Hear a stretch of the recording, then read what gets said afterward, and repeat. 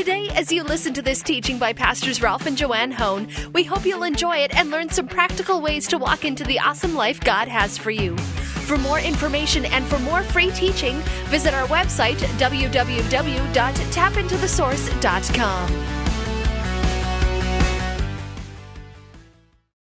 You know, we're going to talk a little bit about who God is today. Have you ever ran into somebody and they didn't know who you were and they start describing who you were in the third person and you're sitting there and you're watching it? And they'll walk up and they say, I heard about this guy so and so, and this is what he does. And hopefully they all say good things. Come on, people. And they start describing you, and you're thinking, it's good. I mean, so far it's going good.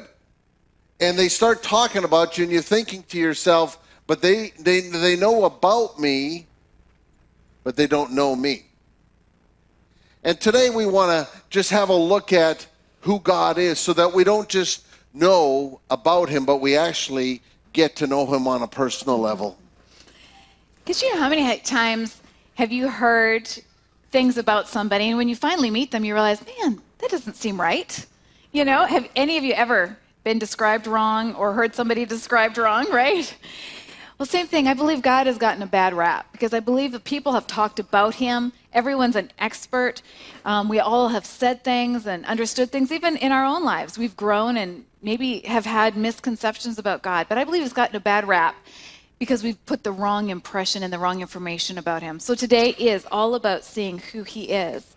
I wanted just to start with Psalm 145, and then we're going to break it down a little bit.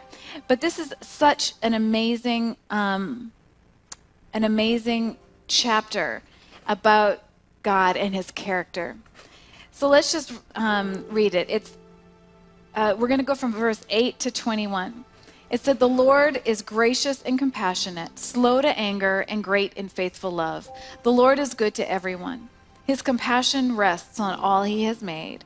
All you have made will thank you, Lord, and godly, the godly will praise you. They will speak of the glory of your kingdom and will declare your might informing all people of your mighty acts and of the glorious splendor of your kingdom. Your kingdom is an everlasting kingdom. Your rule is for all generations. The Lord is faithful in all his words and gracious in all his actions.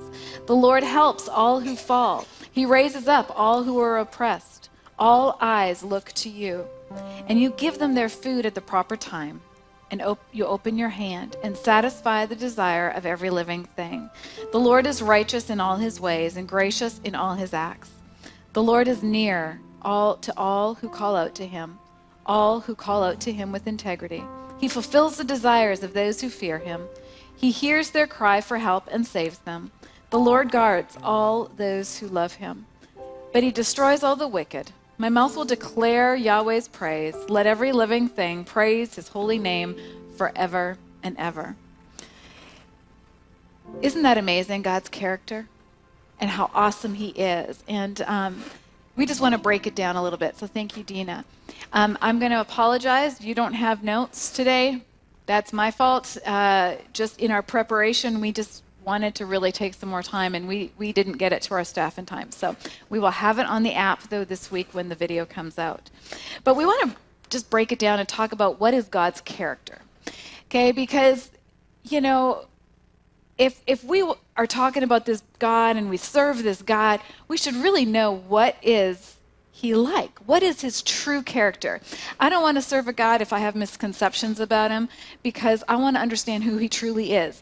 So we want to talk about four of the main characteristics of God. And maybe you've heard these words before in these descriptions, but maybe haven't quite fully understood them. And um, so we're going to break it down today.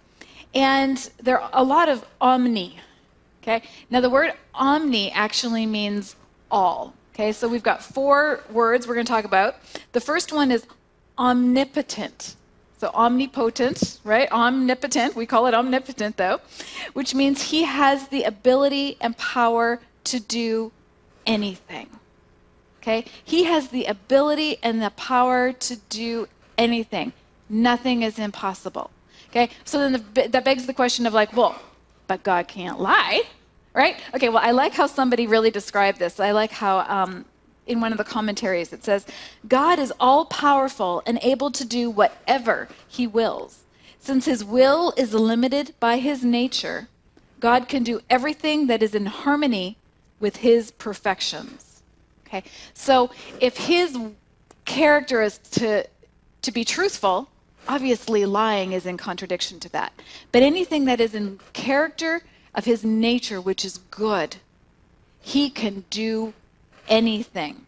Now Ephesians 3:20 says, "Now all glory to God, who is able through his mighty power at work within us to accomplish infinitely more than we might ask or think." Now I want you to notice something because it says in Ephesians 3 that God is able. Everybody say he is able. He's able. Now we would think he is able, he's just going to go do his own thing. But notice what it says here through his mighty power at work within us. Isn't that interesting? God's not interested in being the main showboat. He's interested in having his power, his mighty power, work through us. So that we walk out as ambassadors or understand who God has made us and we start to have Him flowing through our lives. See, that's the nice thing about God. He's just not saying, Well, I'm going to do my thing. I hope you guys are coming for the ride.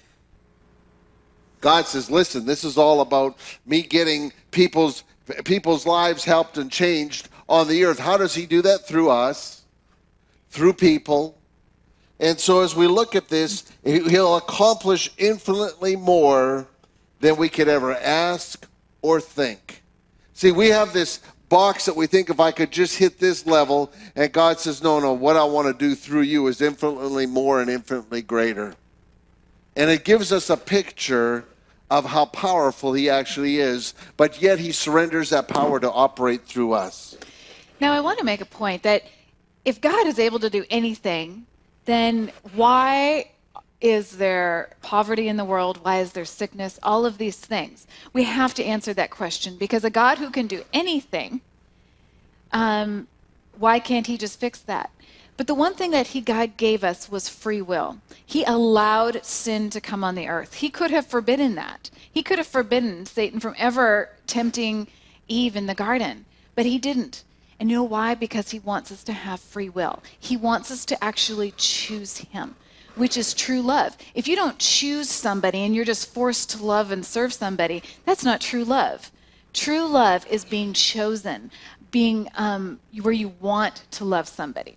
So that's what God gave us. He gave us free will. So by allowing sin on the earth, it's the ultimate gesture which allows us that free will of choice.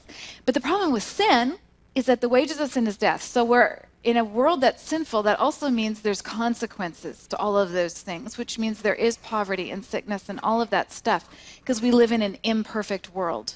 We live in an imperfect world that until we now get to heaven, it's gonna we're gonna deal with stuff, right? We're gonna deal with um, issues. We're gonna have um, you know health, all these different things. We're gonna get attacked because we live in this world. But the one thing about Satan is, as much as he's out there messing with things he can't create. God is all powerful. He can create. He created everything that's on this earth. But Satan can't create. Okay, so he is not all powerful. He doesn't have that kind of power that God has. All he can do is imitate or destroy. Okay, so every scheme he has is simply an imitation of what God has, or he is out to destroy what God has but he is not an ultimate creator. So he is inferior to our God because our God is all powerful and he's a creator. So, how do we apply this knowing this about God? That means that he's big enough to handle our problems. Say that. He's big enough. He's big enough to handle all my problems. To handle all our problems. It means that we must bring him your our problems because he must establish the free will of us bringing him us, our problems. See, we, we think, well, God's just going to burst on the scene and do whatever. No, God's a gentleman. He'll always wait for us to act and then he'll step in and he'll meet us. That's why he says, if you come to me, if you're burdened and heavy laden, I will give you rest, but you got to come to him. He ain't going to chase you down in the parking lot. Come on, come on. Everybody that came to Jesus, Jesus helped. There's nobody here turned around, but do you notice Jesus didn't chase people down the streets? See, God wants us to come to Him with our issues and our problems. And when we do that, we're basically surrendering to Him and saying, God, I'm way over my head in this situation. Let's, let's really be honest, because that's really the, the conversation we have to have with God. Like, I'm really over my head in this marriage situation, in this work situation, in this raising my kid situation. I've got teenagers now. God, I need some help. Amen to that. So we're all in a in a place where we're we're we're, we're coming, but we're saying to God, "Hey, God, I need your help." You know, as soon as we do that, He steps in, but He won't chase us down. Say, "Buddy, I need to help you. I need to help you." We have to come to Him first. So, without inviting him into our lives and without inviting him into a situation, by default, he has to sit back and um, can't step in to change it. So, we're seeing the importance of we have to tap into the power of God. Now, the next character trait of his, his is omniscient. Omniscient. Okay, what does that mean? He means he knows everything. He knows it all. If you look at 1 John 3:20, it says even if we feel guilty, God is greater than our feelings and he knows everything. You know, God knows our thoughts. Okay, you may think you're hiding from God, but guess what? He knows them. And the thing is that Satan does not. Satan cannot read minds. He can't know our thoughts. He can only see what we say and what how we react. So that's why we have to be careful what we say because he only acts on what you say. It doesn't matter what's going through your head. He's going to throw thoughts at you, let me tell you, but he doesn't know what's sticking and what's not sticking. But God does. He knows our thoughts. Even if you cry out to him without ever opening your mouth and it's in your thought, he can he knows it. He knows everything. Okay? So um, there are no secrets with him. So how do we apply this? There's no hiding from God in shame or guilt. Let me say that again. There's no hiding from God in shame or guilt. Whatever we do, He sees every step of the way. I like when I talk to people sometimes and they say, Well, I, I, you know, if God only knew what I was up to. I laugh, you know, usually have a good chuckle right above. Then He knows everything. In fact, He even knows how many hairs are on your head. So if you want to look at a God that knows everything, he is definitely the one. And he. Well, what I what I love about 1 John three here is it says, even if we feel guilty, God is greater than our feelings, and He knows everything. What I love here is He knows what we did last night. He knows what we did in the car on the way to church this morning. He knows what we did 10 years ago. But you know what? The thing is that He is greater than that shame and that guilt. So what He's saying is, you know, I know you're feeling that, but come, I'm bigger than that. I can handle this if you come to me because he he knows it all. So we can't we don't have to worry about hiding in shame. But the other thing about this is that God knows because he's omniscient, he knows the big picture.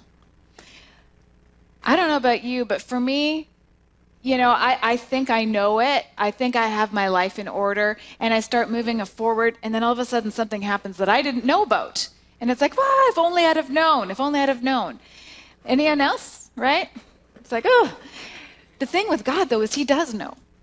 So when we start learning to trust Him and walk in a relationship where we're actually asking Him how to live our life, when we're actually going to Him and, and listening to what He's saying to us, as we start doing that, we're tapping into the big picture. If we don't go to God with our issues, if we don't go to God with our questions, all we're doing is seeing one piece of the puzzle, and you are extremely limited extremely limited because there's all kinds of other factors that play into that. But when we tap into God and when we start trusting Him, all of a sudden now we become a piece in the big puzzle and He can start guiding and directing us because He knows the whole thing. And He's like, honey, just trust me. And you're saying, but God, I, I know it doesn't make sense. It doesn't make sense. And He's just like, whoa, whoa, whoa, just wait. I see where you're going. I can see the whole map. It's like a view of a whole you know, the whole world. He can see down and he can fully navigate you. You know, to, to navigate from one location to another. Um, you know, for me, I know on my GPS, I like to see the overview. How many of you? Like, I like to see, give me the overview first and then break it down step by step. Anyone else like that? Okay, because I like to kind of have an idea where I'm going. Um, I don't like to just be told one step at a time. But the thing with us is that God doesn't always show us the overview, but He knows the overview. He knows the whole path from the start to the end, that's where it takes trust. And He wants us to trust Him. So He doesn't always give us the whole picture, which is so frustrating sometimes.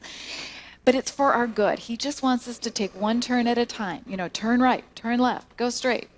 Right. So it's a, an element of trusting Him. But when we know that He knows everything, we can do it. Now, the next thing about God is He's omnipresent. That means He is everywhere at all times. He is everywhere at all times. Psalm 139, um, 7 to 8 and 10 to 11 says, I can never escape from your spirit. I can never get away from your presence. If I go up to heaven, you are there. If I go down to the grave, you are there. I could ask the darkness to hide me and the light around me to become night, but even in darkness, I cannot hide from you. You know, for the good news about that is God is always watching. God is always there. You know, the Bible says he'll when we make him our Lord and Savior, he'll never leave us or forsake us. God will always be there. He can be intimate and at present there's about 7 billion people on the earth right now.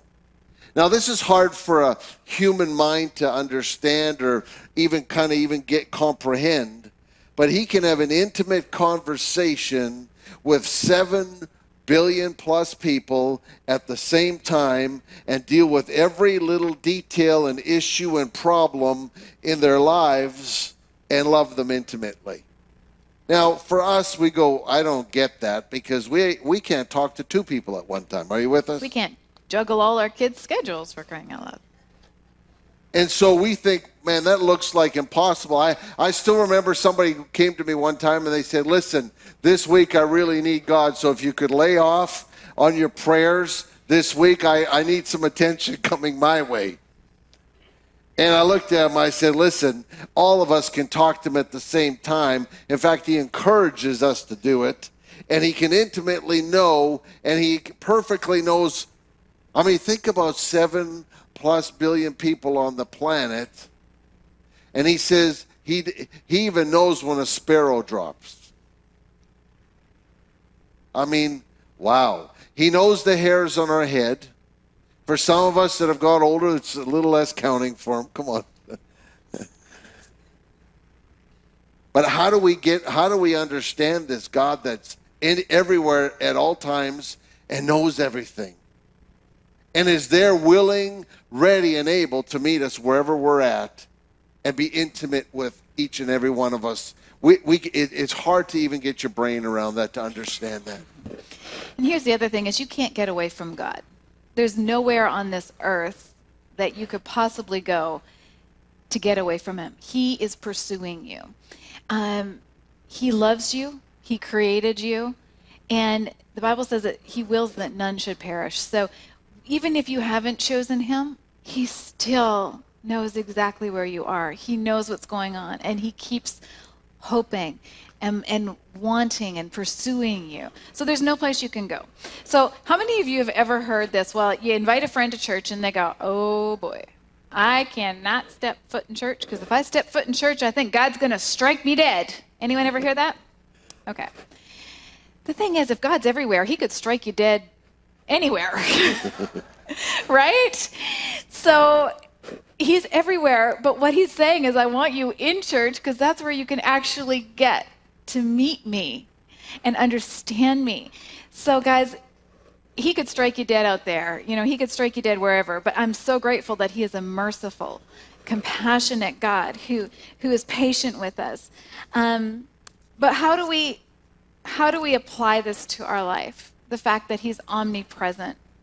One is realize there is no running from God, but that he is everywhere you are. You could be in a dark corner at the bottom, absolutely strung out by yourself and still cry out to God and he'll heal you and he'll hear you.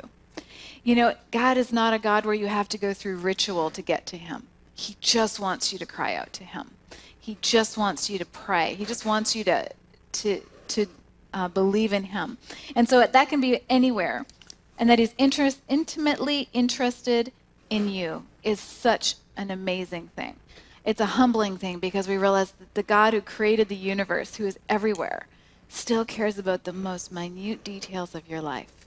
And he loves you enough to just sit and spend time with you and enjoy each other's company. Now, the last trait of God is omnibenevolent.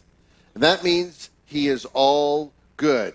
Let's say that together. God is all good. God is all good. So Luke 18, 19, it's a great story here because this guy comes to Jesus one time and he says to him, Hey, good teacher. And here's how Jesus replies, Why do you call me good? Jesus asked him, Only God is truly good. Only God is truly good. Now, was Jesus God? Yes. In its completion, he was all of God. But he stopped this guy because we take this language so, um, uh, the, the, this, these words, and we use them in places, you know, that they don't really show the picture of who God is.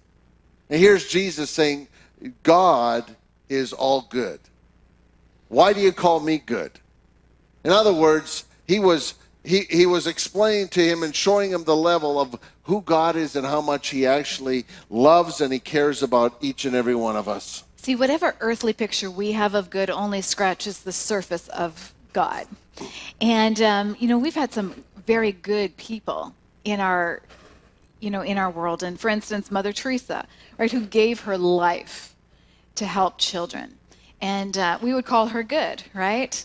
Um, Billy Graham, who has seen millions of people come to see Jesus, to know Jesus. He's good. You know, he is a man of deep integrity and one of the few ministers um, who've had no scandals against him because he walks in integrity and he walks rightly with God. Um, another one, you know, uh, there was recently this uh, situation where um, three young guys in France saved a train from being shot by a gunman. That's good, right? That's really good.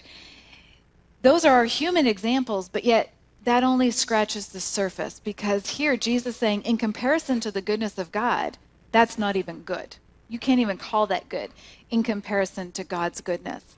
So, how big is God's goodness? Like, how can we start to get a grasp of this? Which is what we want to share a little bit. For the first one is in his goodness, he loves. He loves. He is a God of love. And I know oftentimes we've looked at him as this angry God who just wants to get us, but no, he is a God who loves. He created you. He has good things for you. He wants to pursue you. John 3 16 to 18 says it really wonderfully. It says, This is how much God loved the world. He gave his Son, his one and only Son. And this is why, so that no one need to be destroyed. By believing in him, anyone can have a whole and lasting life. God didn't go through all the trouble of sending his son merely to point an accusing finger, telling the world how bad it was. He came to help and to put the world right again. Anyone who trusts in him is acquitted, and anyone who refuses to trust him has long since been under the death sentence without even knowing it. And why? because of that person's failure to believe in the one of a kind God or the one of a kind Son of God when introduced to Him. So, this gives us a picture of us when we make a choice for God. God says, I love you so much that I gave my best that heaven had. That was His Son. To come and fulfill that, that sin offering for us so that we could be in relationship. And when we come into his and receive God, we live this incredible life. But when we reject God, he says you're already under, under a death sentence. So you were, we were born into a death sentence. But God says, I've set things up so that you don't have to live there anymore. He loves us how much He loved us. If God didn't care about you, He'd have hit the reset button a long time ago. Come on, somebody. And he probably should have with some of us. Come on, somebody. He definitely should have with people that really messed with us. But God doesn't operate that way because he operates in love. giving us another chance, giving us another chance, giving us another chance. Every time we come to God, He doesn't look at you and say, Oh, not you again. come on, people, because we do that to people, don't we? They've been three, four times taking advantage of you in their back, and you're thinking, Oh, not them. Uh, you might not say it out of your mouth, but I know what you're thinking in your mind. God doesn't do that. He says, I'm so glad you're back. And he just wants this relationship with his kids. Us not living, if we're not living a life with God's love in it, it's not his fault. It's ours. Because he's already done everything he could do. He did the biggest act of love he could possibly do by sending Jesus. So if we're not living in his love, what we've got to learn is how do I receive his love? Because it's there, it is waiting for you. Um, we've got to learn to better receive because he's already taken care of it. He's already done what he can do. And uh, we need to le- learn to receive. John 10, verse 9 to 10. This is Jesus speaking. It says, I am the door. Anyone who enters through me, which is Jesus, will be saved and will live forever, and will go in and out freely and find pasture, which is spiritual security. The thief comes only in order to steal and kill and destroy. I came that they may have and enjoy life and have it in abundance to the full till it overflows. So, this is not a God who is here to take things away from you. This is a God who came to bring you life and life abundantly. Okay, He is a God who um, wants great, great things for you. Often we look at, you know, we think, oh, well, if I go to church, they're going to tell me all these things not to do. No, you know what? it's not about rules and regulations. It's about a relationship with Jesus. And when you're in relationship with him, he wants to protect you. Just like how many of you who have children have rules for your kids? Wow, I want to be one of your children. Okay, so none of you have rules. Okay, I have rules for my children. and sometimes they listen too. Sometimes know. they listen. Are those rules for their protection or to damage them? Is it just a sick game we play with our kids going, this is going to be fun. I'm going to get all these rules so they're miserable. No, it's so they can learn, they can grow into some new things. It's the same with God. If there's something He's asking us not to do, it's not to take something away from us. Instead, it's to protect us, to walk us into better things. So when He's a good God, He is only has good. Um, it is Satan who is the thief who is here to take stuff away from us, to kill and to destroy. But I love here is that as Jesus says this, he says he'll give us eternal life, which is beautiful. What kind of God?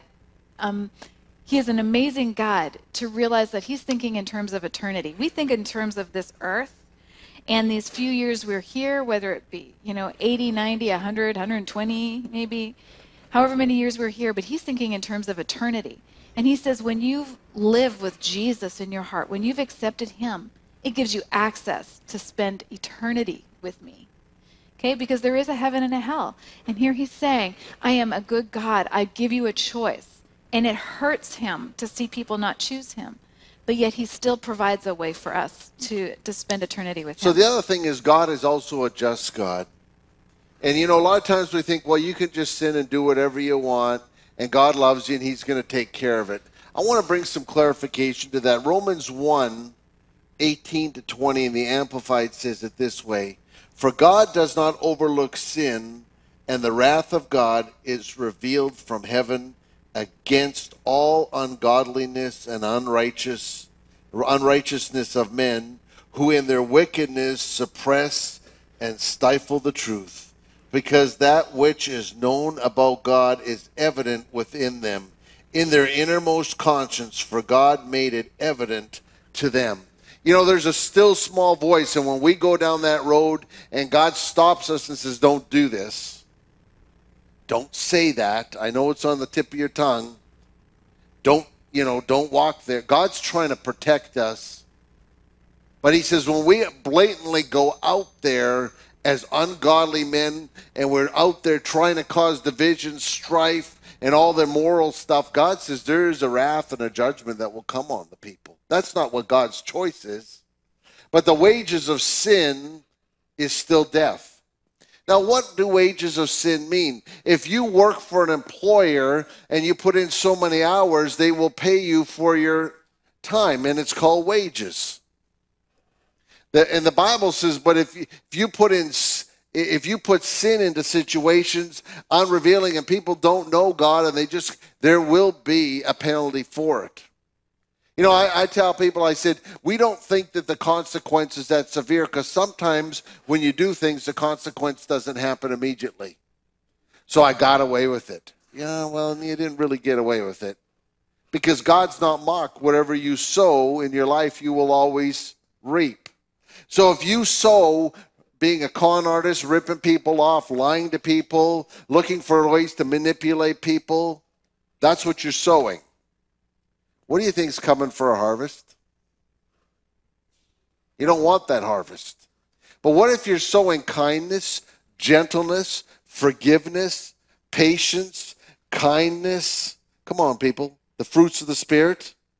All of a sudden, what will come back to you is other people will start giving you kindness, forgiveness, and all sorts of things. And, and, and God will move in a, in, in a way that shows. But see, God's wrath People say, well, he's not, he's not mad. I said, well, he loves each and every person, but he can't be around sin.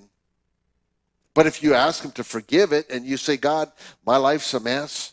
I've really just missed you completely. I'm, I'm, I'm way off the deep end and, and I just need to get my life right. Can you come in and forgive me? And he'll, he'll show up and instantly and take care of. He won't say, well, let me tell you what you got to do because you way overstepped the boundaries. No, he steps in and he says, You know what? My grace is available anytime you come and ask for, for forgiveness and repentance. Anytime we do that. But if we go out there with this malicious intent, like he's talking about here, there's a wrath that God has. We don't want to be any part of it. I always say, God, that's why Jesus, when he hung on the cross, forgive them. They don't even know what they're doing. See, he showed his forgiveness towards us. And being a just God means he will fight for justice, right? Which means when people have wronged us, he's going to take care of it. And I don't think any of us want to have a parent or a boss or anything who just lets injustice go. You know, when someone's stealing from the office and it's like, oh, it's not, don't worry about it, don't worry about it, don't worry about it. Or you're being attacked at, at work and um, it's like, oh, no, we're just going to love them. We're going to love them. No, there needs to be a point where it's like, okay, we've warned, we've warned, we've warned. Now action needs to be taken, right? That's the kind of God we, we believe in because that way we can trust Him. We know that if we've been wronged, He's going to take care of it. But thank God that on the other end, when we've wronged, He's slow and He's merciful and He's compassionate in that. So He is slow to anger. But we do need to realize that in a just God, it goes both ways. He'll take care of us and defend us, but he also realizes that sin has a point where through after his mercy and compassion and everything else, there's a point where the consequence of sin must happen. And that's where he has to take his hand off and let its natural consequence go. But you know, I, I like you know, Tracy Strawberry says this all the time. She says, We can choose our sin, but we can't choose our consequence. You know, we can choose our sin, but we can't choose our consequence. We all want to say we're in control, but when the consequences come, it's like, God, where are you? Well, you chose that.